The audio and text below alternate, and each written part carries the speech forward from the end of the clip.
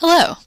This video is a description and navigation instructions of the second module in the Professional Development course, Building Inclusive Educational Practice Across Cultures and Countries. Welcome to Module 2, Working with Paraprofessionals.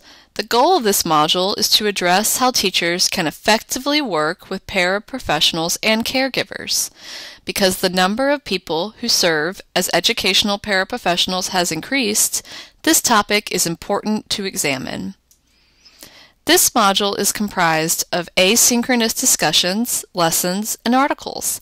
This module has to be completed in sequential order.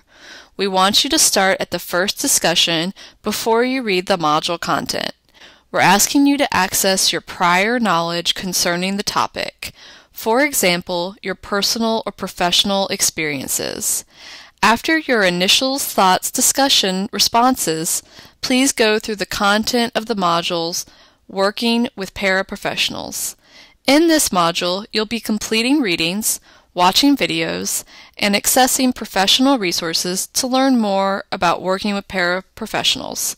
Finally, you will respond to the second discussion, reflection. In this discussion, you will address focused questions that will demonstrate your application of the knowledge acquired in this module.